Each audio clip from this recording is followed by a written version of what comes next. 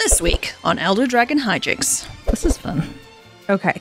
I'm going to play Orin Reef the Vastoid. Yeah, it's my turn. Oh, sorry. I thought when you were saying,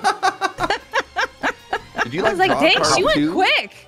That's a game loss. Be more careful. Yeah. All right. Well, Olivia's out. We have a My three-person commander game now. Cheers. Cheating. Uh, I'm gonna play Foreboding Ruins, but I won't reveal anything. Now you make go.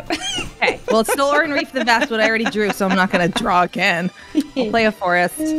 I oh, No, she's will. only gonna cheat once. All right. Thanks. Yeah. You cheated again. That's a mountain. Oh yeah. Did I say forest? you did. Anyway. I'm going to tap you. Shut up, everybody. Burning tree, emissary, cultivate, go to hell. Pass. Love you, That's actually a really Olivia. scary Love turn. you too. And